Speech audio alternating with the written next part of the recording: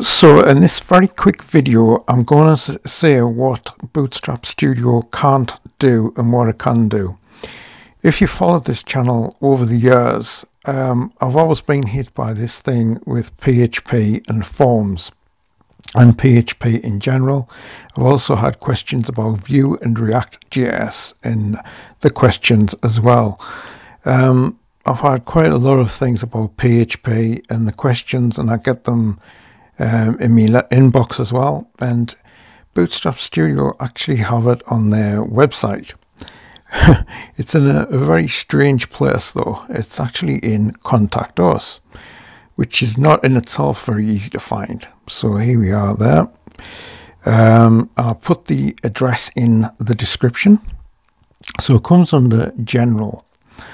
Um, what you've got to see is Bootstrap Studio is basically a front end tool. If you think of Bootstrap, just Bootstrap itself, and then you just think of Bootstrap on steroids, that's basically what Bootstrap Studio is. It isn't a full stack program, it is purely a front end to build your website, and you've still got to know HTML and you, at least basics, and you've still got to know CSS.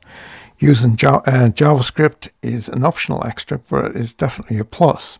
So if we look at these things here, you can bootstrap Studio Export for CMS like WordPress. Think of when you have had that question once before. Um, basically, I, I, wouldn't use that. Anyway, here we go with um, with these here, and it's got React, Angular, and Vue support.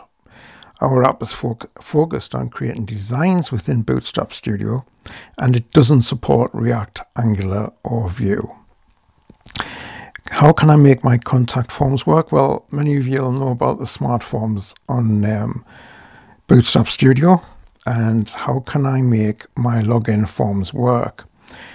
Login forms are very different from contact forms. For login forms, you will need to have a database with user records encoded in a language like PHP, Python, Ruby, Node.js, or other to handle logins. You will have to write this by yourself after you export your site from Bootstrap Studio.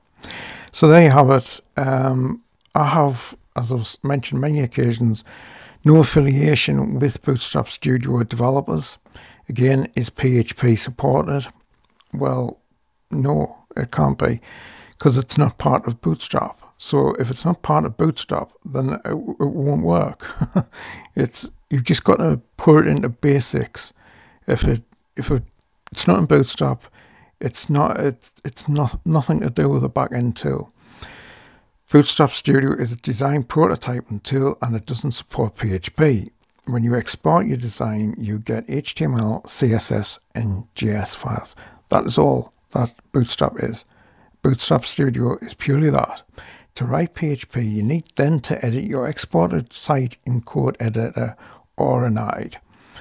And again, can I connect to a database? Well, that's just been really, you know, it's just been answered. So I'll, I'll put that in the, um, as I say, I'll put that in the description. And as I say, there's nothing I can do about these questions when they come up. You do have to learn PHP. Um, you know, if you want to do backend stuff, that's what you're going to have to do, or things like Python, Node.js, which has become popular over the last few years. So that's just like sort of the rundown of what, uh, you know, it's a great tool for many things, but it isn't backed into. So once again, thanks for watching.